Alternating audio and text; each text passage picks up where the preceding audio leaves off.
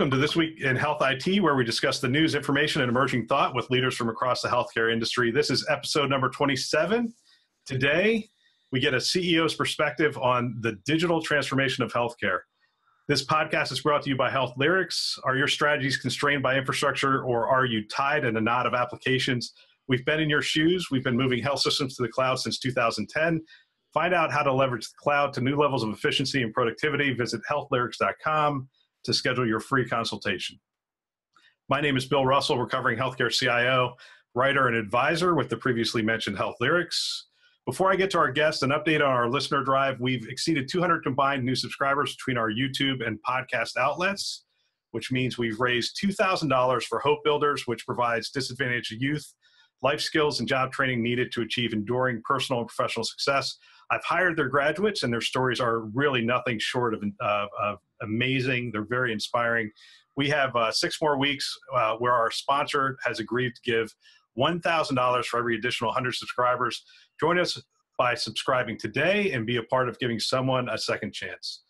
Uh, today's guest is the president and CEO of Providence St. Joseph Health, a faith based a faith-based not-for-profit health and social services system with 111,000 caregivers in 50 hospitals, 829 clinics, and uh, someone I consider to be a digital health visionary. Today, Dr. Rod Hochman joins us. Good morning, Rod. Welcome to the show. You know, your your bio is pretty awesome, but the show has a limited time frame. So, if you don't mind, I'd like to condense it a little bit. Are, are you okay with that? Uh, so, lead, so you've had leadership positions at uh, Providence, Swedish, Sentara in Virginia, Health Alliance of uh, Greater Cincinnati, and Guthrie in Pennsylvania. Uh, Rod has served as a clinical fellow in internal medicine at Harvard Medical School and Dartmouth Medical School.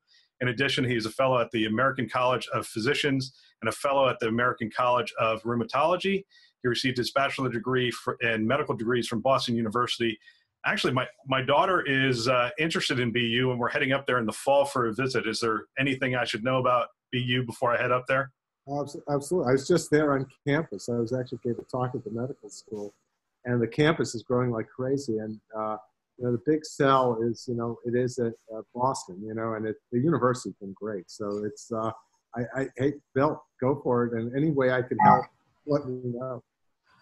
Yeah, well, I, I, I, am looking forward to uh, anytime you get to visit Boston in the fall. It's uh, it's it's a it's a wonderful experience. So I'm looking forward to. We're going to visit some. I, I, don't know. You know, your youngest daughter going to Boston, or she wants to look at schools in New York City and Philadelphia. I mean, these are big cities, and I live on the other coast. So it's uh, anyway. You've, well, you, I'll tell you, I know all three cities. I vote Boston, hands down. so, so that's my vote. Well, let's see. So uh, there's two other great sentences in your bio. So um, I'm going to touch on these. So uh, under Rod's leadership, Providence St. Joseph Health is transforming healthcare for the future through digital innovation, genomics, and scientific wellness, pop health, and outreach to the poor and vulnerable. In addition, mental health is a top priority for Providence St. Joseph Health, which is contributing $100 million to establish an independent foundation focused on improving the mental health and wellness of communities. Uh, so let's break that down a little bit. So digital innovation, genomics, scientific wellness, pop health, and outreach. Give us a high level on some of the things that you have going on right now at, at Providence St. Joseph Health in, in those areas. So, you know, we're, we're the belief that, you know, the health system of the future is going to have to look different than it is today. And that there's certain areas that we felt we had to make a commitment to. And, you know, there are two areas that have been slow to get the digital revolution. That's been higher ed and uh, healthcare. And uh, whether we like it or not, it's, it's here. And what we did, I think the smartest thing we did about four years ago, we hired Aaron Martin from Amazon to be our uh, chief of digital uh, informatics, of, you know, to, to handle this for us. And as it was as much a cultural change as it was a technological change for us. And you know, and Aaron has a great diagram that you put technology people together with healthcare people, in the middle you get magic because they both need each other, whether they recognize it or not. And I think we recognized that four years ago that if you're going to take this digital revolution on, you better put those folks together. So we've come to the realization that you know, digital is the way healthcare is going to go. It's the only way we get the scale So we've been working in a whole bunch of areas which we can explore, but we consider that to be job one for the transformation of our system. The second area was, you know, we felt the largest health crisis in the United States. Now, if you look at folks, about 40% of patients that we see have some concomitant primary or secondary mental health disorder. And that if we don't get on top of this, and we're seeing this in the country, we look at the suicide rates, a lot of that's been out there. We look at the opioid epidemic. It's really, if this was Ebola or something else, we'd, we'd say, gosh, we have an epidemic, we've got to do something about it. So we felt as a health system, we had to put a stake into the ground. We've got to we put our money where our mouth is and said, we're going to put $100 million, create this new organization called the Wellbeing Trust so that other people could join us so that this isn't just a Providence St. Joseph effort, this is really a national effort. And we've gotten folks from all around the country, including Patrick Kennedy, Maureen Bisognano, to be part of our advisory board. So people could see this as creating solutions for mental health. The third is, you know, we have the, the other revolution that we have is the genomics revolution. And, uh, we're, you know, we have this intersection between biologic science and computational science.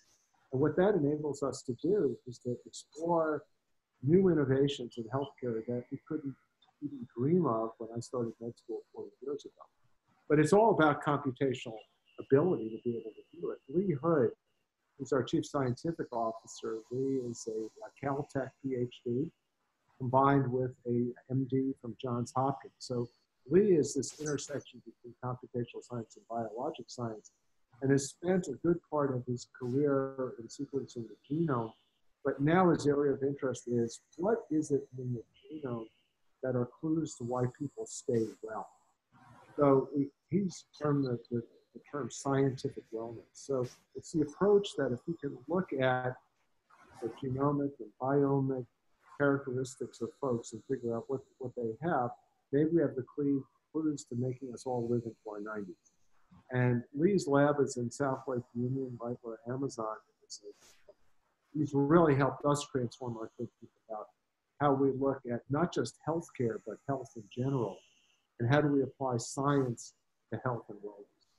Uh, and then the last area is our Institute for Human Caring, which looks at how do we look at, as we enter the latter stages of our life, how do we do that in a way that we all would want as doctors, IT people? How would we want to pass through that? And you know, our approach is that you don't necessarily just need a, a bill that lets you have uh, assisted suicide. We think there's another pathway. And uh, uh, Ira Byock's work in this area is incredible. And uh, it's really a movement to, to, to, let people know that as they reach the better parts of their lives, that an alternative to, to So those are just some of the areas that we think are, you know, critically important health systems to be engaged in. And uh, we think that's where some of the future is. Yeah, that's, I mean, that's, that's an awful lot and it's uh, really exciting. I know that, um, you know, the sisters and you and Deborah were so excited about the, the mental health initiative and um, it's really exciting to see uh, I mean, not only Providence St. Joe's, but we're seeing this uh, really a couple organizations across the country start to really step up uh, in that area and maybe take the uh, take the mantle of this is really an epidemic that needs to be uh, addressed head on. Um, so let's let's jump into you know uh, for those of our listeners, we usually do in the news sound bites and. Um, we do uh, social media close. We're going to lose a social media close. We only have 45 minutes with with Rod, so I'm going to spend more time on sound bites, a little bit on in the news. So, so Rod, here's what we usually do during this section. I, I toss out some questions, usually one to three minute answers. If you go longer than that, um, I'm not going to stop you. It's more of a guideline than a rule. Uh, and from time to time, people throw questions back at me. I cannot guarantee answers, but uh, it happens. So, um, so here we go. Um, uh, first question: How does uh, how does the competitive landscape really change in healthcare with the emergence of digital technology? Right. So I, I think what digital helps us do is get to scale. I think the biggest problem that health systems have had is how do you get to scale, and how do? For us, we take care of 13 million people a year. How, how do we make that 20 million? You cannot do that having people visit your office, coming in for a visit. You've got to use technology, and you know the digital tools are there. It's not digital versus hands-on; it's digital and hands-on. So we look at digital being able to really improve our scale and be able to get us out to places where we haven't been before, whether it's either through telehealth, it's through apps, uh, it's, it's through people having their own personal health record. So we think unless you have digital tools, you can't take care of people's health and you can't get the scale. Yeah, it's but it's also going to bring in potentially uh, some new competitors. So as we look at the new competitor uh, and potentially partner landscape, uh, new things are emerging. So you have CVS, Aetna, uh, JPM, Chase, uh, uh, Amazon, Optum, DaVita, and, and various other mergers coming coming to bear. So um, let's take this from two perspectives. What what challenges are those leaders uh, with those new models going to face, given how how much of a physical plant is required for medicine at this point, and how are these these models going to change the traditional health system uh, like Providence St. Joe's? So there's words of caution all the way through. So if we use a Uber analogy, right? So Uber has been able to revolutionize mobility without owning a car, plane, a train, or anything else. Nor do they have any plans on doing that. So I think we in healthcare who feel so secure in our big buildings better watch out because you know it's it's a it's a blockbuster analogy. It's all of those ones that are out there. Uh, bricks and mortar, I, I wouldn't feel comfortable just sitting back there. So I think for, for the folks in healthcare, we've got to we have to partner, we have to develop, but we have to have a digital solution to what. So it's it's the equivalent of saying I'm just going to have my stores and sell my DVDs versus I'm not going to go out in, in the digital space. So I think that's a that's a threat and an opportunity for healthcare. But it's not elective whether you go onto the digital side, you have to. And then for smaller organizations, depending on who you are, I think you got to find the partners that are out there. Yeah. So, um, you know, as we look at, well, actually, let's let's change gears a little bit here. So, um, let's let's take a look at the role of the consumer. So, the consumer in in today's marketplace is very different than the consumer in previous uh, years. And what we're seeing is a lot of health systems change their models. Um, I've had a CIO on the on the uh, show who was talking about how they're really taking apart the health system, and now they have um, literally they're taking the departments, they're breaking out the big campus, and you're seeing them on street corners and and all over the the city. They're making them more accessible. Um, how how is the consumer really dictating uh, your next moves and your next steps uh, in terms of how you uh, make it more convenient, more accessible, uh, really focus in on on experience and outcomes. So when we look at our, our new strategic plan, which we call Health 2.0, we put the consumer right in the middle. And we, we say, as a consumer, how do I want it? I want the healthcare where I want it, when I want it, how I want it sometimes it's at home, sometimes it's on my iPhone, sometimes it's in the office, sometimes it's in the hospital. But that's our whole focus. And I think that's one of the things that our Amazon folks have really helped us with that work for us is they are completely consumer driven. And they're really teaching us how we have to do that. So we've shifted our focus completely in that direction to put the patient, the consumer at the center of everything we do. And that that is for all of our caregivers. As you said, you know, we take care of the poor and vulnerable. If you're a Medicaid mom in Washington State, or if you're a Microsoft executive, or if you're an executive of Southern California, we want to make sure we tailor our experience to you. So we're all in on the consumer side. We think everything has to be directed towards the individual. They, they want their personal records. They want to have that personal attention. And that's what we think digital really helps us be able to do that. So let's um, precision medicine. You mentioned uh, uh, Dr. Uh, Leroy um, Hurd, Horde, Dr. Leroy Horde, uh, your chief science officer. So precision medicine based on genomics holds great promise. We know that uh, this technology is really advancing pretty rapidly. Um, how does how does your health system prepare for what really could be a radical change in the way care is delivered and received in the future. So I think that's why we hired Leon because we, we recognized we didn't have that expertise in our large health system. We're also not an academic health system, but Lee is the one that's helping us shape what are the practical considerations of genome sequencing. But you know, what's interesting about Lee's work, it's not just about the genome. You know, and I, I need to say that. It's about the biome, it's about your laboratory data, your phenotypic data. But what, what, what today's world lets us do is put this big dense data cloud together and figure out for Bill Russell, okay, what's, what's, what, what do you need to do next? And so we think Lee and his work uh, at personalized health really helps us put us in a position to know what we need to do. And sequencing continues to spiral into it's almost going to be uh, available and, and ready for everyone. Uh, uh, you got to just figure out how to use it effectively, both if you're ill, but also if you're well. And I think we put our we put our chips on the work that Lee's doing to help us navigate. Yeah, I don't I don't know if you've done this yet, but I I, I went down to uh, Human Longevity down in uh, San Diego, and I, I did the full battery uh, genomic sequencing and and uh, the, the, the rest of the services that they offered. It was fascinating to me, um, just how uh, how much more precise they can be, and how much they could say, you know, hey, if your if your physician prescribes for you these medicines, you're going to want to direct them in in this direction instead of this direction. It's amazing that when you treat them as treat people as like just people as opposed to Bill Russell, the individual, uh, the diagnosis could change and the the the the path, the treatment path could could change pretty pretty uh, dramatically. Well, what we're finding with the work with the genome is that many medications that we prescribe, they work for you, but not for me. And how do we know that? Right now, it's trial and error. Well, well I guess it's not working, you know.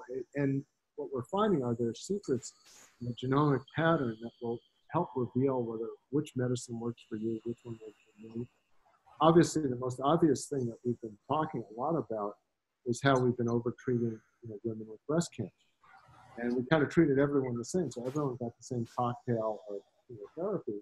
But what you really find is that there's subsets amongst that group of women that for this group, this treatment makes sense, but for this group, it doesn't make sense. So what it's helping us do is create a lot of specificity about tailoring both your treatment and what you should do according to who you are. And that work is just accelerating dramatically. My wife is in a program that uh, came out of Lee's group called Arivale, similar to what you've experienced in San Diego. And she's on the phone with, I think she's on the phone with her coach today, going through all of her data, her genomic data, her biomic data, figure out what she should be doing next. And that is, wow, that's a whole different world from where I was even 10 years ago uh, in healthcare. Yeah, I, I love the direction it's going. So, um, you know, one of the things we we probably don't talk about enough on this this show or in other contexts is just the cultural change that's required. So, digital requires significant cultural change.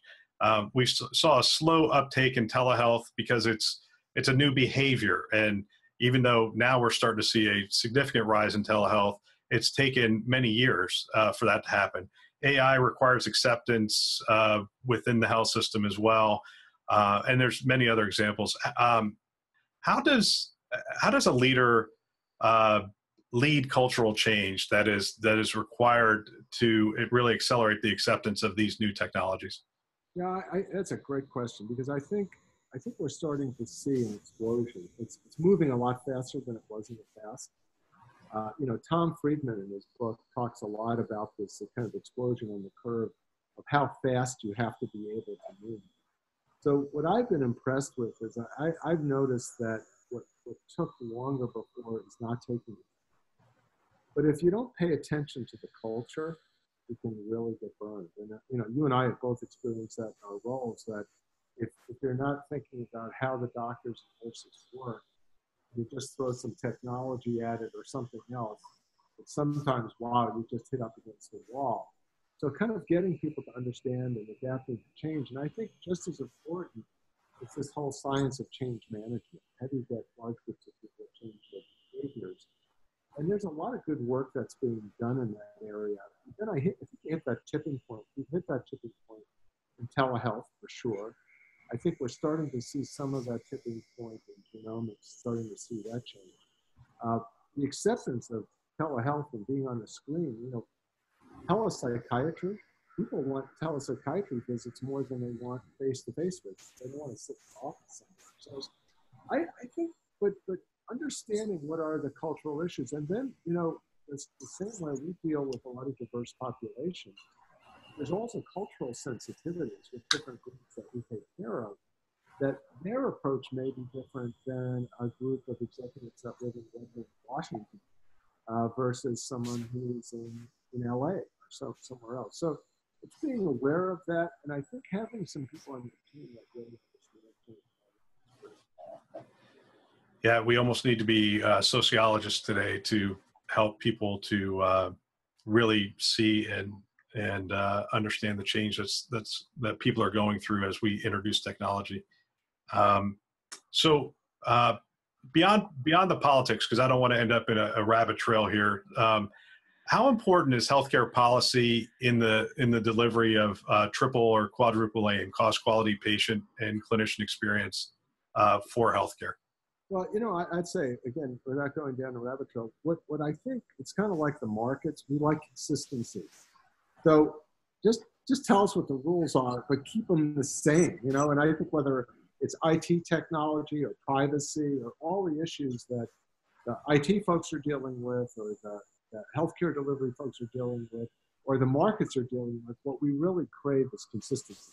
Because then we're very adaptable. But the problem is when the rules change constantly, we're not quite sure where we are. And I think that's, if you put it down, that's probably the greatest frustration we've had. Uh, you know, now we're going to see a whole spate of change in privacy laws. You know, we saw that in California. Yeah. And that's set off a whole sequence of different ways that we need to think about from a healthcare informatics standpoint, what do we do with that? Uh, you know, the rules are changing, whether it's on 340B drug pricing or something else. So I'd say the biggest challenge that we have with policy is inconsistency.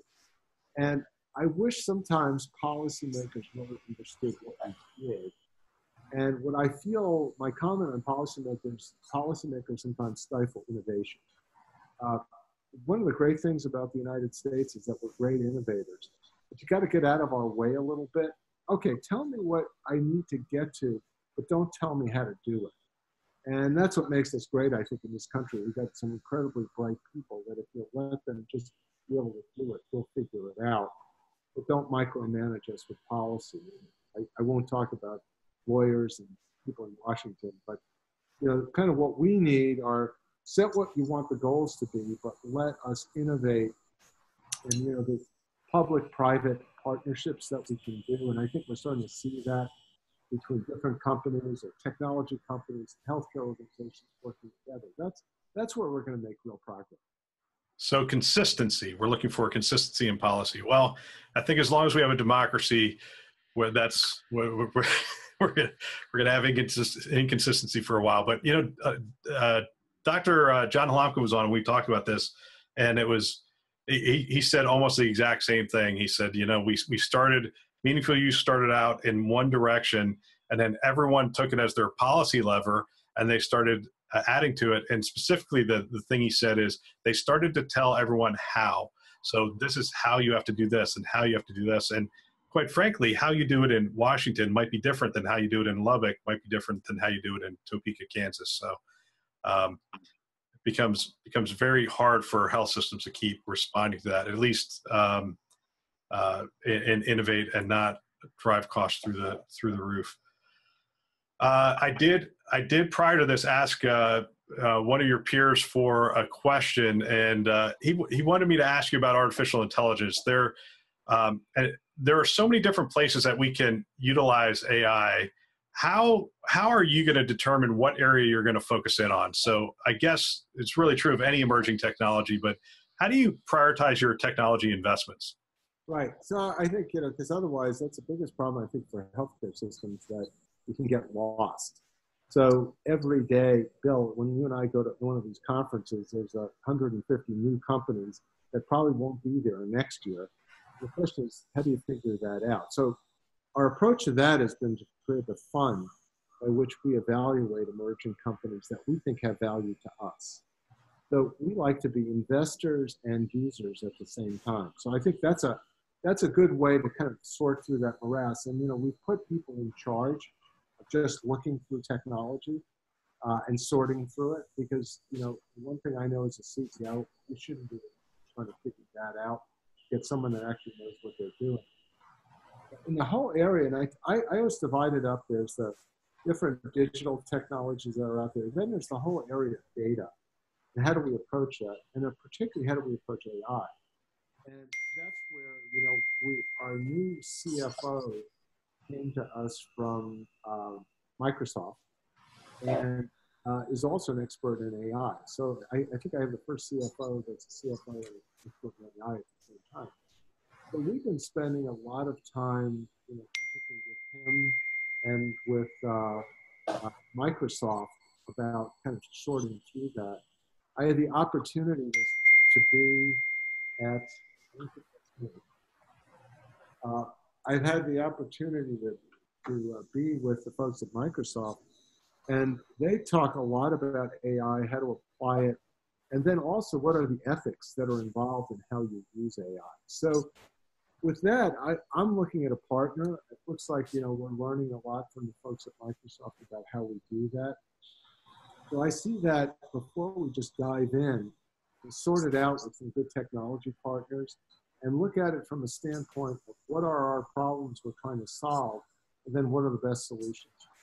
So we've taken a very, uh, uh, I would say, systematic approach to that, but recognizing that we're going to probably need some help from the outside.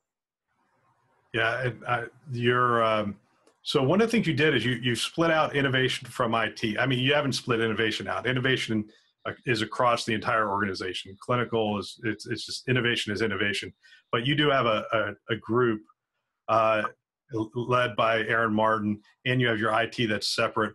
And we've seen a lot of these models, and even some newer emerging models where you have a chief transformation officer is now sort of a thing that's out there. Um, I guess the the question is do you do that because of this thing? Because there's so many emerging technologies and so many partners to evaluate and so many um, and, and you want to sort of introduce new ideas to the organization? And is this is this really something that's a, uh, a any health system of any size or is this because of your scale that you've split these things out? I think some both. I, I think it's a, just a great principle. I think what's happened in the past when we've tried to be digital and be innovation it's got crushed out by the rest of the organization. And we've seen other models in other industries where the core business just crushes out the new ideas. We've got to separate it, we've got to fund it, and it needs the direct support of the CEO. And I think those are key words. The CEO has to believe in it, has to be funded, and it can't be allowed to be subservient to the tradition mainline core business, which for us is our hospitals, our clinics, and everything else that are out there. So I think that's really important.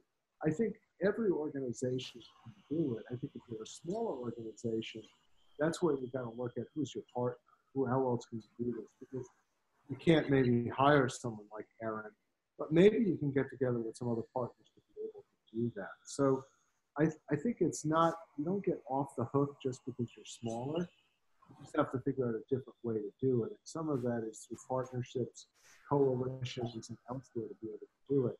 We've had a lot of smaller places be our partners, uh, you know, both on technology, on IT. They don't do it on their own, but hey, we can partner with Providence and Joseph to do something. So I think that's the model for the future, but I don't think anyone gets off the hook on having to make sure that they have the innovation to develop part of their organization that's growing and able to stuff.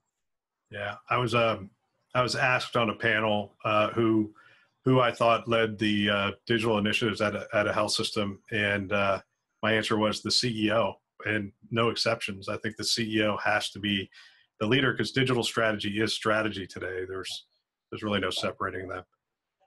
Um, All right, well let's let's move to the news. So perhaps this is old news to some. Uh, the non-merger with Ascension, uh, the merger would have created something in in, in the, the, the scope of 200 plus hospitals, 30 some odd states. The, the is really breathtaking. Uh, in, in the end, you said the timing wasn't right. I guess there's two questions. The first being uh, the obvious one. Uh, tell us about the decision, and then the second uh, question being, uh, do you think we're going to continue to see uh, more mergers in healthcare, traditional and non-traditional, and, and just elaborate on that a little bit? Sure. First of all, I think you know Ascension's a great organization, and Tony Tersigni and I are very, very close. Their CEO, and um, you know we went right down to the wire. Uh, I think what we both stepped back on was that we both had a lot of initiatives, both at Ascension and Providence, that needed to be taken care of. And you know, all of merger, mergers are about timing. And we both felt that we needed to take a pause and kind of think about what both organizations are doing. We had a lot on our plate. You know, our our agenda Providence St. Joseph. Tony had a similar agenda, and we just felt timing wasn't just right that it would almost be too much of a distraction for both of our organizations. So we both decided, you know, we liked everything we saw. We still think the fundamentals were 100% correct about creating scale, but also because allowing organizations to function the way they are, but that the timing wasn't right, and that for now we put it on hold. Uh, but I, I, think we're going to continue to see, we've seen Advocate and Aurora come together uh, West uh, CHI Dignity, you know, Bon Secours and Mercy in Cincinnati. I think we're going to continue to see that because organizations need to get to scale, but they also need to, to lower their operating costs. And there are good mergers for the right reasons and there mergers for not maybe the right reasons. But if they're done the right way, they are going to be incredibly helpful as we go forward. So I think we're going to continue to see this. Uh, I think the uh, provider sector is going to be under a lot of stress next year. I think we're going to continue to see stress on reimbursement. And I think organizations are going to come to figure out how to do this better. The second alternative, though, to uh, full-on mergers, which are, you know, sometimes regulatory nightmares and all the things that are inherent, are now creating coalitions around certain things that we need to do, whether it's around data, and recently, you know, we're part of the initiative generic uh, drug manufacturing uh, with Microsoft, uh, with um, um, uh, Intermountain in um, Utah, HCA, uh, SSM in St. Louis, Providence St. Joseph, Trinity, have all come together and said, look, this is crazy on generics. We're going to just make our own. And I think we're going to see more of that where organizations come together collectively, create a product, do something together buying. We've had GPOs for a long time.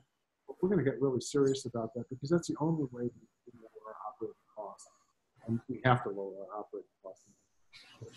I think you're going to see both, Bill. And then you'll see some non-traditional partnerships, and you mentioned a couple of them, you Aetna, you know, uh, uh, a lot of those that are out there in order to kind of put position yourselves in the market a little bit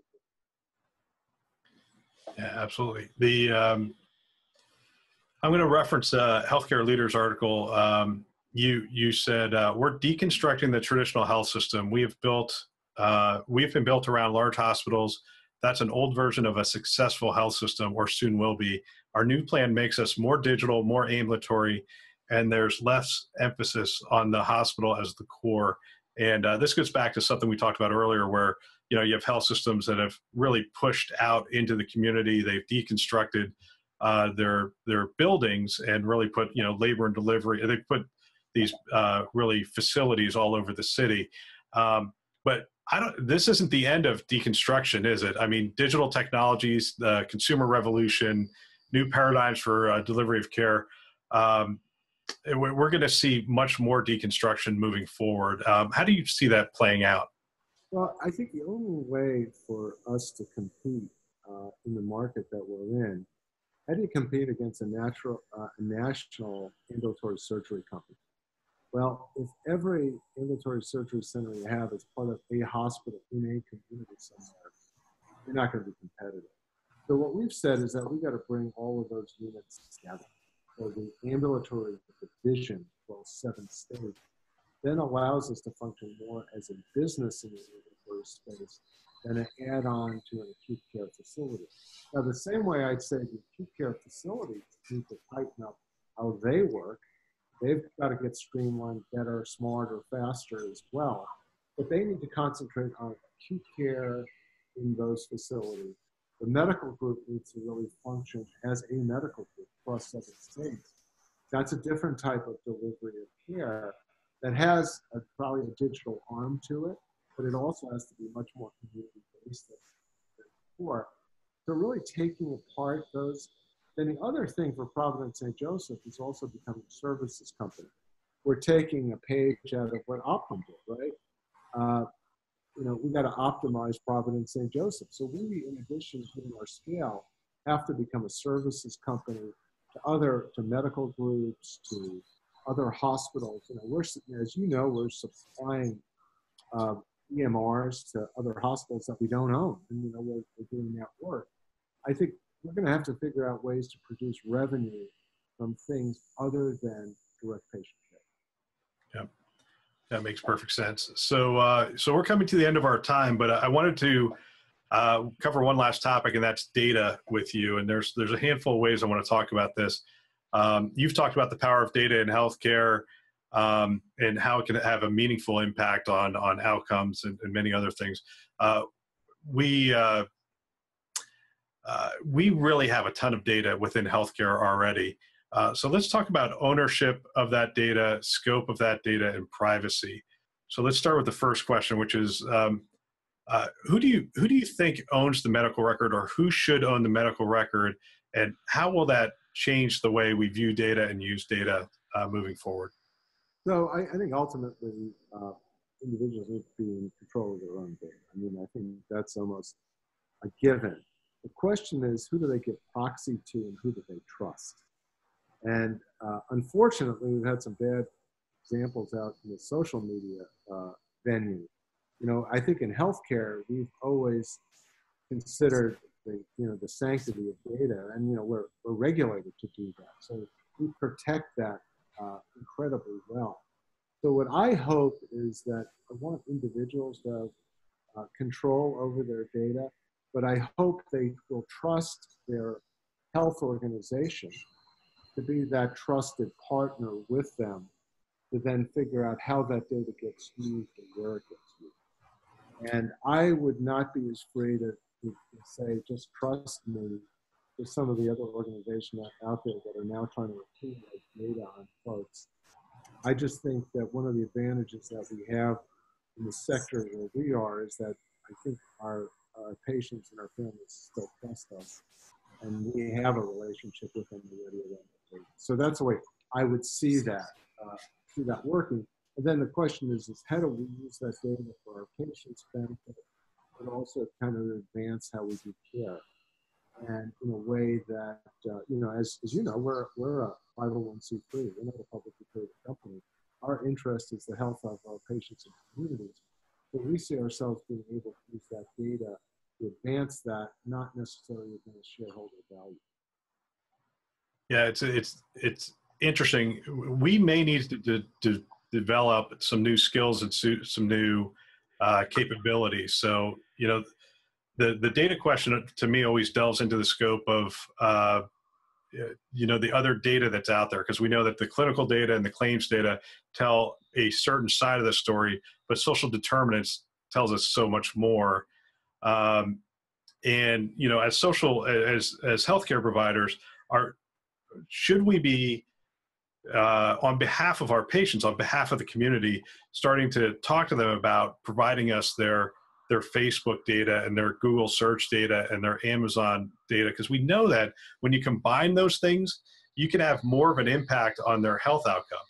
Given that, you know, they give us proxy, they trust us, we have clinical and data experts who are looking at it and putting together a whole picture of health. Do you think that's in the future, or do you think that's a little too out there at this point? No, I, I think it's critical. You know, we're talking a lot about social determinants of health. We recognize that the biggest determinants are education, housing, food. You know, those things have far more effect on your health than your genome does. So those are critical aspects of how we keep people healthy. I think it's going to be essential. And, you know, at Providence St. Joseph, we have one of the largest housing divisions in Washington and Oregon. So we've been in housing. We're in education. You know, we have a university in Montana. So we recognize how important those elements are. I think capturing those elements in a very secure way are going to be essential in providing individual the best health for individuals. We're particularly seeing that as we look at taking care of our Medicaid patients, that the data that's more useful to us is really a lot of the social determinants data more so than that. So I think it's critical, Bill. I see it. I see it coming. I hope that uh, you know uh, our patients will trust us to be that uh, trusted source that they can share it with. And uh, uh, so my answer to that is yes, and I think it'll happen sooner than we think. But it's going to have to happen in a way that people feel secure about it. I think, I think people have been pretty rattled by some of the things they've read about recently, and I think that's unfortunate. I think it may get in the way of, of how we care for people. And you know, we've experienced some of this around mental health data. That one of the problems that we have in taking care of patients a lot of times are the black box around mental health information. That when someone shows up the emergency room, they're sometimes unable to get at that. But I think people are always reticent about what data gets out there and not. And uh, you know, we see it strictly from the standpoint of being able to care for people's health and help better before they have all the That's great. Hey Rod, I just want to I want to thank you for coming on the show. Uh, I always enjoy our conversations. Um, what's it, it's you? Uh, what's the best way for people to follow you? I always ask this question at the end of the show. Uh, do you have a do you have a blog that you because because your full time job isn't enough? Do you do you? you know, I, you know, I have some of the greatest people that that that work for me, and uh, they really um, uh, are able to kind of get messaging out for me. But I think the best way is just Rod Hochman, R O D H O C H M A N, uh, MD.org. Uh, and that has most of what I'm thinking about on a, on a regular basis out there. So it's, it's fun. And I love hearing from folks and getting their ideas. I mean, I, I would say that the two-way exchange really helps. Uh, I find that from our caregivers and from everyone else. It's great to hear folks comment. We're, we're willing to put ourselves out there, and but we're also willing to kind of hear if some people have a different take on it, what what they're thinking. So that that'd be great. I'd love to hear from folks. Absolutely, and uh, so you can also uh, you can follow me at the patient CIO on Twitter, Health Lyric's website. Uh, you can follow the show at This Week in HIT and check out the website at thisweekinhealthit.com. Uh, catch the videos on the U- YouTube channel, thisweekinhealthit.com slash video. Uh, please come back every Friday for more news, information, and commentary from industry influencers. That's all for now. Thanks, Rod. Really appreciate it. Great to talk to you. Take care. Bye.